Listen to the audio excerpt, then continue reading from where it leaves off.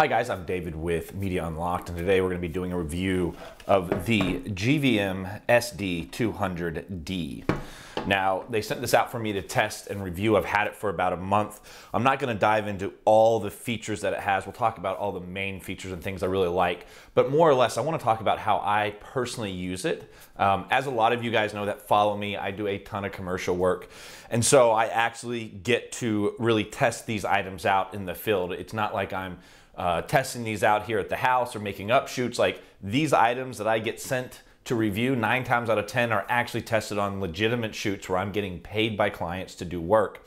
And we were really, really happy with this. Now we did a, a big commercial for a local wedding venue and we needed two lights and we were able to use this and then the Godox uh, I think it's like the SL200, uh, which I also really like. So one of the nicest and biggest features about this style of light for me is that it takes the Bowens mount on the front, therefore allowing me to put a bunch of different types of modifiers on the device so that I can actually diffuse the light the way I want to, which really helps for nice, beautiful soft shadows when doing any type of interviews or headshots.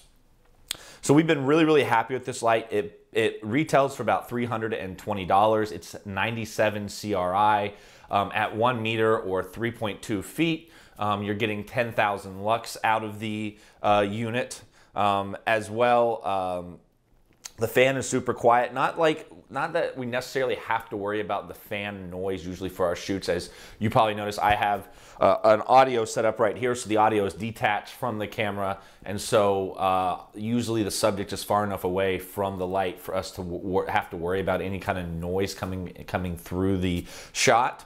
Um, so, but the fan is nice and quiet, which I really like. It also seems to work really well in really warm environments. One of the days we were shooting, um, it was about, I think, 90, 95 degrees, and we had it running um, for about a half an hour to 45 minutes with no issue of it getting too hot and getting in the way of our shoot. So that's something really like. Now, one of the things that the Godox, which is only about $50 more. Um, that's what I'm actually lighting myself right now is the Godox SL200. It is almost twice as bright at three feet away. Um, but it does not offer one of the really nice, cool features I love about this light, and it is bi-color. So that means it ranges from 32K all the way up to 56K, depending on what you need. You also get um, a wireless uh, signal into your phone for the app. So therefore you can control uh, the, the light and multiple, you can control multiple lights on different channels um, and you can control that uh, bicolor. So you can set um, different lights on different channels. Um, you can change the brightness, you can change the Kelvin temperature, um, all from your device, which is super, super nice to be able to do that and be able to control it from the phone. Now, I don't personally use it that much um, when it comes to doing the uh, through the app. However, I didn't have any major issues once I figured out how the app worked. It took me about 10 or 15 minutes to get everything synced up um, and working with the app. So, um, but yeah, let's let's plug it in and talk a little bit about it. Um, I've been extremely happy. Like I said, it's about $320 light. Um, I do wish at that price point it was a little bit brighter, or I'd like to see the light closer to the $250 range. I think for that price point, you can get a light that's a little bit brighter. However, it would be lacking in some of the features that this offers where you get the bicolor and you get the app option, which for a lot of people, that's, that's very important for them. So let's plug this in. You get more than enough cord when it comes to length and how far you're gonna have to probably stand from your subject. So, um, you know, I always bring extra extension cords onto my commercial shoots. So if this doesn't give me enough, um, I can always um, I can always add those extension cords so that I do have enough. So uh, we'll look here on the back. Um, and this is an all uh, plastic and aluminum build. Uh, so that's another really nice thing if you're wanting a light that is super um, bright or super super light, not bright, but super light. So if you're looking for a light that's that's super light um, far as carrying it. One of the things cons I do have about the light that I was not excited about was that it did not have a carrying case. So we have a backpack that we throw it in, but I kind of pad the backpack. But that's one thing I want to be careful with is to not injure the light or hurt the light or break the light. Um, so what we can do is we can flip our switch on here and as you guys can probably see here, um, so you can control your power here. And actually, I'll be quiet so you guys can kind of hear the fan for a second. So as you guys probably noticed, the fan's not super loud. Um, and then if we hit this in right here, now we can control our Kelvin temperature. All the way up to 32, back up to 56. Now, I will admit, nine times out of 10, a light like this is not really gonna matter for me whatsoever when it comes to bicolor because I pretty much only shoot at 56K and I very rarely need to change that Kelvin temperature. But I do have that option, which is fantastic. Um, and then you can go in and mess with your uh, RGB settings as well. So you have your different channels here. Um, and then you can set your master here. Um, if you're going to be using the app, you can use the app. And so what we'll do now is take a look at how it works with the app. Let's go into the app here. Pretty simple. Go right into the app. If you notice, it's right here at the top. So we're just going to hit connect. Now I do have the light on.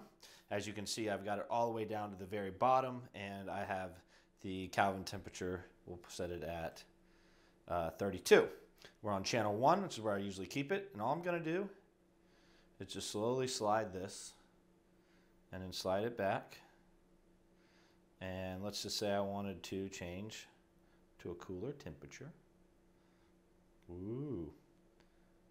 And it's that simple. Now, I don't use this feature a lot, but it is a great feature, and I'm sure a lot of people will use it. Now, if you're using one of their other lights that has scenes built into it, all that will be right here. Um, so you can control your scenes uh, and other like RGB, if they have RGB built into it, you have that option as well. But it's really simple to use the app, and as long as you stay within Bluetooth range, you can control the light on different channels. My final thoughts for the light um, would have to be that at $320, I wish it was more around the 250 to 275 range.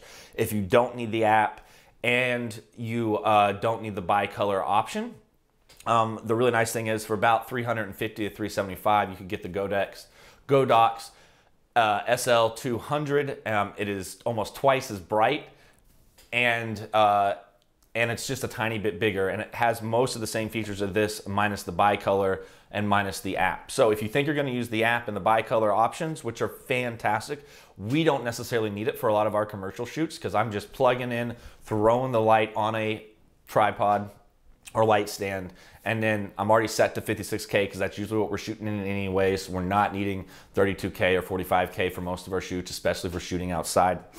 Um, but we do need it from time to time.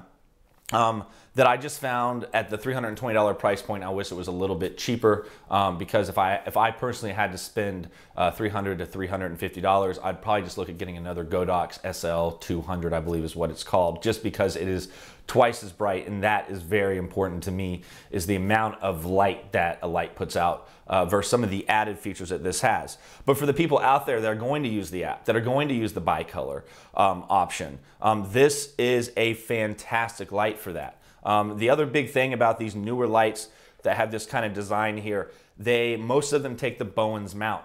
Bowens mount is awesome because I because there are so many different modifiers, uh, diffusers, modifiers, whatever you want to call them, the the big things that you put on front of a light so you can keep the you can stop the light down but even out the shadows, right? So that's called a modifier diffuser. And I found um, that just being able to have that Bowens mount for all the different modifiers and diffusers that I use, it makes things so much easier. Um, a lot of our shoots, I just get a beauty dish and I throw a beauty dish on top of this, and then I position it uh, anywhere from uh, three to five feet away from my subject. And nine times out of 10, that's gonna give me that nice, beautiful, soft light, especially when we're doing something like an interview for a client.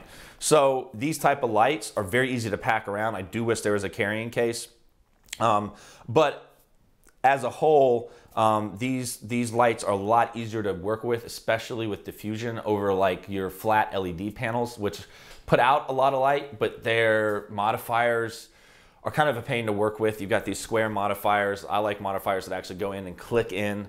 Um, so I've switched to this style of light. This is pretty much the only style of light where I can put the Bowens mount on the front. There's probably the only style of light that I'm actually using for my commercial work now. I've probably got four or five thousand dollars worth of just LED panels I probably need to uh, get rid of, but uh, because of being able to put the Bowens mount on these on lights like this, especially this model, um, I've just really liked it. So again, My biggest takeaway is I wish it was a little bit cheaper, but as a whole, this is a fantastic light if you're looking for a light that has an app option, that has the bicolor option, that uh, puts out 10,000 lumens uh, right at a meter or 3.2 feet. Um, and it's plug and play, and it works very easy. Uh, setting up the app does take a second, but what, what should happen is when you log into the app, you should, you should have the light on. It should automatically see the light and you should be able to connect into it. Don't try to go into your Bluetooth settings or Wi-Fi settings and connect into the light before connecting into it through the app. Other than that, uh, super simple to use. And uh, I'm really, really happy with the light. As always, guys, there will be a link at the end so you guys can go check it out if you do happen to purchase the light. That little extra money does help the channel stay alive. So, uh, as always, guys, we'll catch you next time. Let's go.